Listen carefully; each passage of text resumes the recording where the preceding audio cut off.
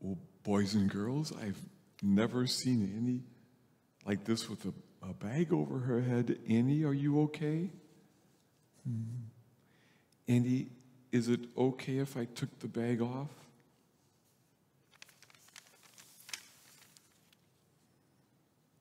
Oh, what's what's the matter, Annie? Are you, are you okay?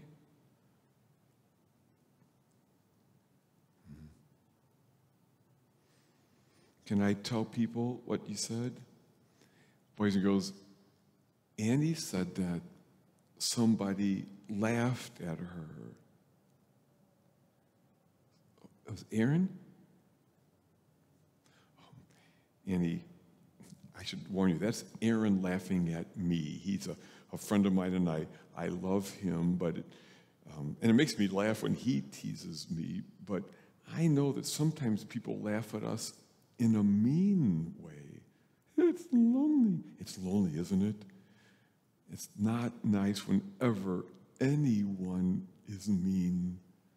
Scared. You get scared?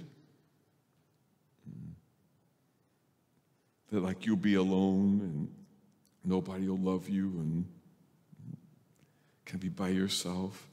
I get that. I do know that God is there.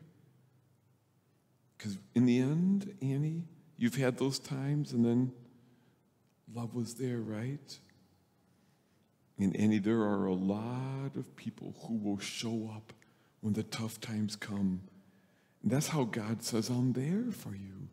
And sometimes we just have to try to remember it in here because when somebody laughs at us or won't play with us or excludes us, sad. It's sad. But, oh. And I'll hang with you, Annie.